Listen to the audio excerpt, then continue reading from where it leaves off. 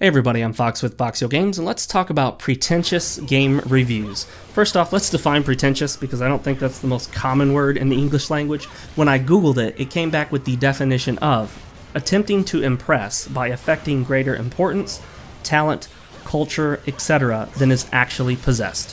When it comes to doing video game reviews, I don't think that anyone's going to deny that video games are not a necessity.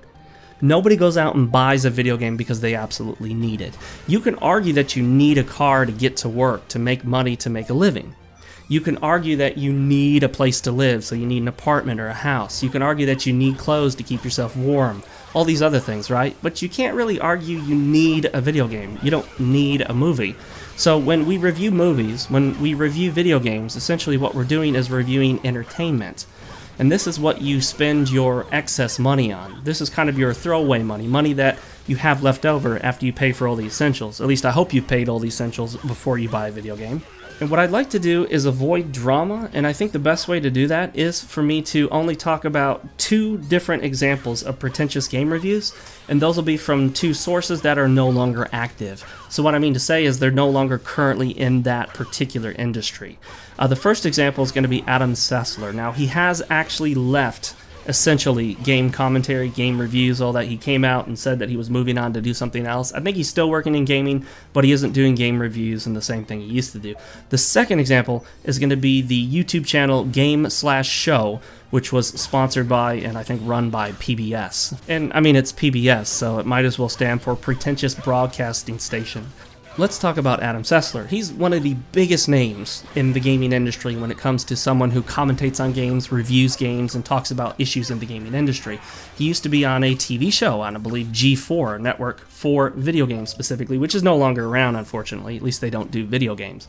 Adam Sessler, unfortunately, had a very big change of heart not too long ago, and he sort of moved on, not only from video game commentary, but he got a little nasty towards gamers. He even, at one point, compared people who buy video games to people who buy chemical weapons. And that's not a joke. There's a link to the tweet in the description of the video. I'd like to focus on his The Last of Us review.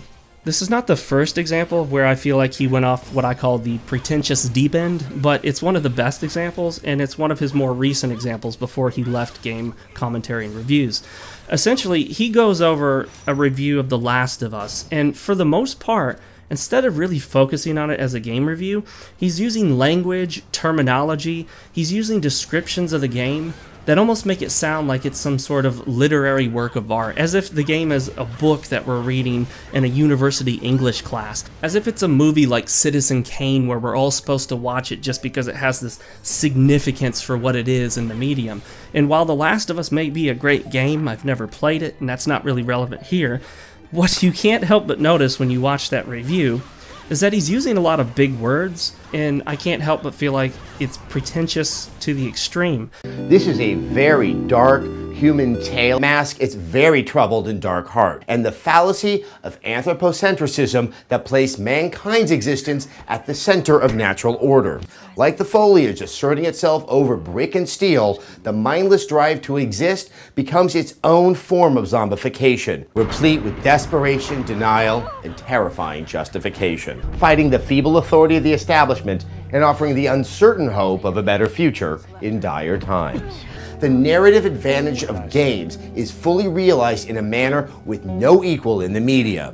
Playing the uncomfortably ambivalent character of Joel, whose monomaniacal need to fight onward fixates on Ellie, transforming him to a Don Quixote at the end of the world. I mean, he uses the term anthropocentrism, which I believe is actually a mistake because I think the correct term is anthropocentrism.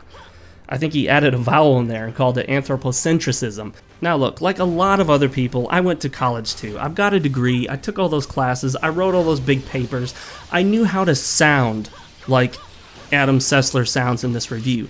That's how I sounded when I wrote my English papers on literature and things of that sort. But this is a video game review, and I just can't help but feel like it's not appropriate for the medium. I mean, people want to know is the video game fun to play? People want to know more about the graphics and the music and the gameplay and the mechanics and the story. All that stuff, the characters. And of course, you know, character development and all of that, the narrative, that's fine. We do want to know about that. But when that becomes the central focus to the point where it's almost as if you're overlooking the actual elements of the game that make it a game, I think you've stepped over into the land of pretentious. Back to this word anthropocentrism. Like I said, he called it anthropocentrism. Now, correct me if I'm wrong, guys, but I'm pretty sure that's not actually a word, and he meant anthropocentrism.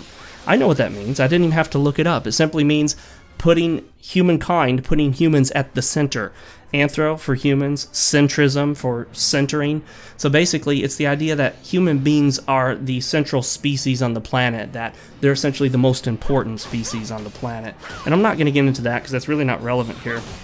But you'll notice, like I said, this sounds like something you would turn in in a university class. It doesn't sound like something that belongs on a video game review site or a video game review channel. And use of words like that, as well as his comparison to a Don Quixote at the end of the world. Okay, yes, I know about Don Quixote. Shoot, I read it in, in the original Spanish, but you don't see me running around bragging. Well, I guess I bragged right there, but what I'm saying is, I'm not really sure that these comparisons, these analogies, these big words are really hitting home any points with the vast majority of your audience. I think the reason that a lot of these pretentious game review sites and channels are starting to go under is because there's not really a base for that. There's no audience for pretentious game reviews. And to use a pejorative, which means basically kind of an insulting word, there's simply no audience for hipster game journalism. There really isn't. It's a very small audience, and the only way a lot of these sites are getting enough views to keep themselves afloat is what we like to call clickbait. I mean, they're posting stuff where the articles are inflammatory, they get people riled up, where the articles are misleading, where they attack people in the articles, where they say extremely extreme things in the headlines to get your attention and make you click. You know, it's that headline where you're like, I don't want to click on it. I know this is going to be garbage. I know it's clickbait, but I just got to click on it to see what it says. I've finally gotten to the point where I can usually resist that but this is how most of them stay afloat because if they put headlines that were professional and exactly what they wanted, these kind of literary reviews of games, people wouldn't click and they would go under as they are right now. A Don Quixote at the end of the world. I mean, come on. what is that? I, I, just, I'm sorry, but I don't see as how that really belongs in a video game review. I'm sure that some people might appreciate that. Some people might look at video games in that way, but I think the vast majority of the audience is going to look at that and think, what are you talking about? What are you going on about? I have no idea what you're talking about. Can you get back to the game? I mean, although it's not used here, there are other people that like to use this new term. It's it's the latest thing in pretentious game journalism. It's ludonarrative dissonance, which essentially means when the mechanics and gameplay of the game contrast sharply with the story of the game. And a primary target of these people that like to push the term ludonarrative dissonance was Bioshock Infinite. Because they said that the story and setting of Bioshock Infinite had a ludonarrative dissonance when it came to the extreme violence of the game. And all I could do was sit there and read these and watch these videos and think, you know, it seems to me that you don't really like video games. All you like about the, or the main thing you like about video games, I shouldn't say all you like because that's a, a superlative, but I'm being pretentious using the word superlative. Anyway, it seems like the main thing you're interested in is the narrative.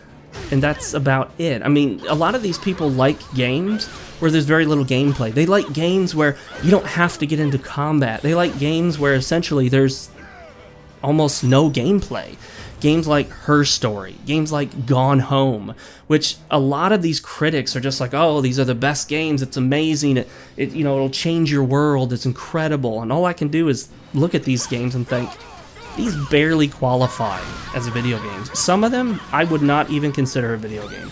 They are barely more interactive than a DVD menu, and I wouldn't consider a DVD menu a video game.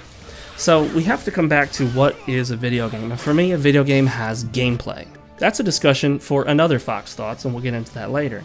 Of course, there's a bit of subjectivity about what exactly qualifies as gameplay, but I'm pretty sure if you just pick a few things here and there from a menu and watch something unfold, uh, it's that that's on the line on whether or not that really qualifies as having gameplay.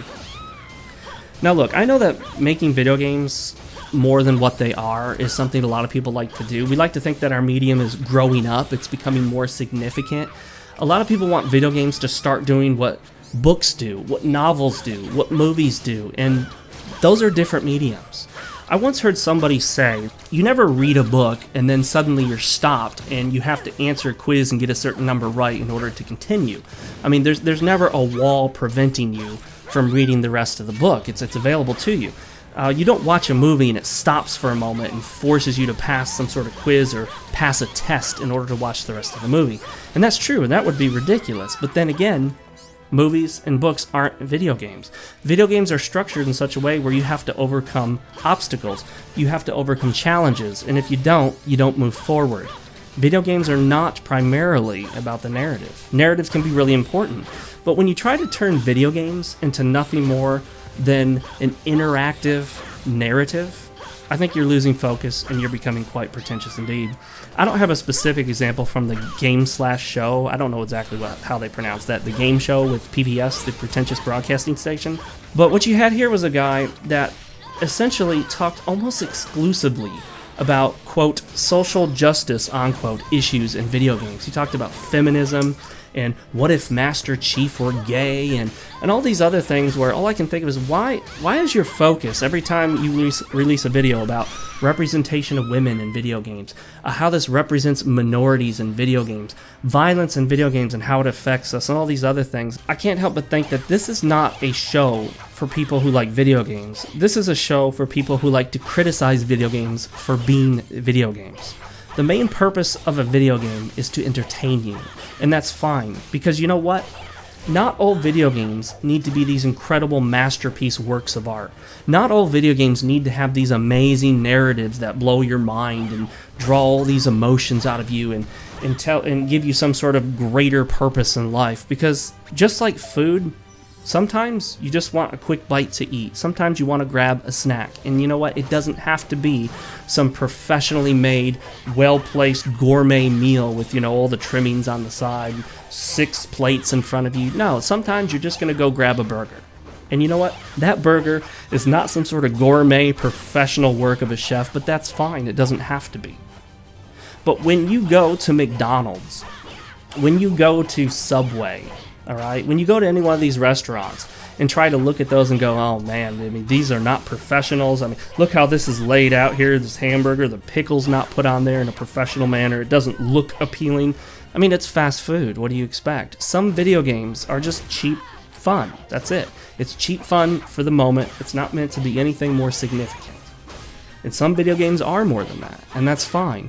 But not all video games are. And to treat all video games as if they need to be that professional, uh, highly narrative, very important, culturally significant works of art, well, I think that's pretentious.